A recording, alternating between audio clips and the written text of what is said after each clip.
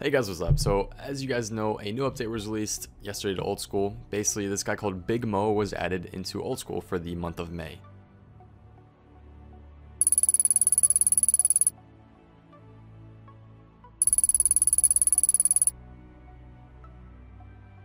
If he doesn't give us an elite here, I just... It has to be. We've done it every day.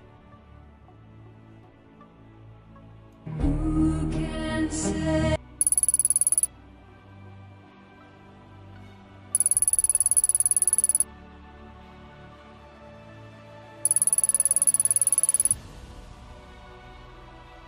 I got an easy after getting four fishing levels.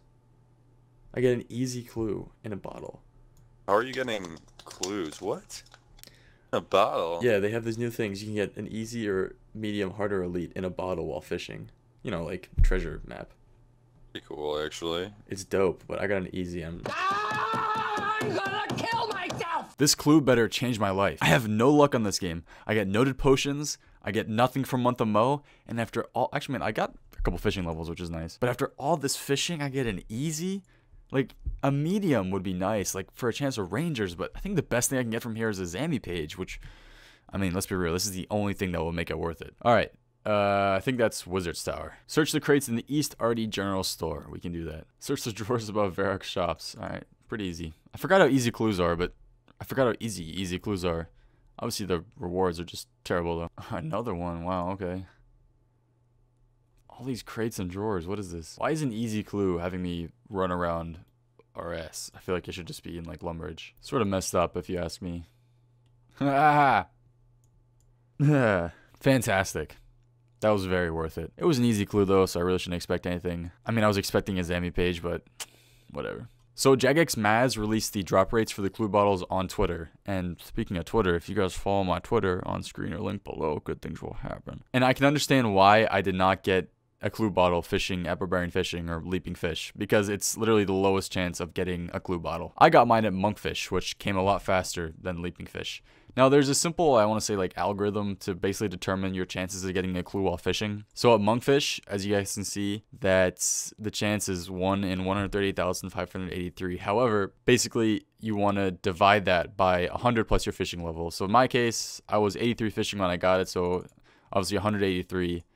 So if I do 138583, oh, whoops, 138583 divided by 183.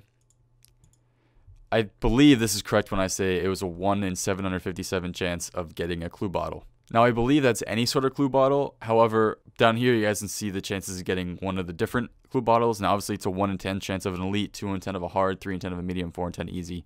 So the chance of getting an elite is even rare, obviously. I got an easy. I mean, you guys just saw me do it, but I don't know. I like. I really like this update. I think it's cool. I think it just adds something else to skilling um, well, in this case, fishing, but pretty cool. The best chance you have, obviously, is anglerfish, then shark, then sacred eel, lobster. I'm actually surprised lobster and rainbow fish before monkfish. I, I don't really know why. And dark crab is all the way up there.